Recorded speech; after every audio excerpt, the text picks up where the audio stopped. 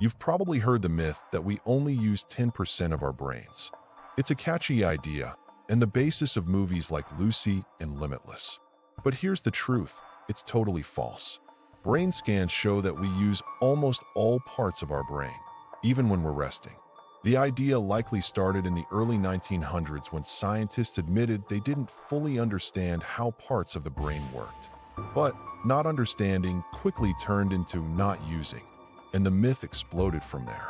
So why does the myth stick around? Probably because it gives us hope that we have some hidden, untapped superpower. And while we don't have 90% of our brain waiting to be unlocked, we can train it to do more, improve memory, focus, learning speed, even creativity. The real takeaway? You're already using all your brain. The trick is learning how to use it better, and that's way cooler than any sci-fi myth.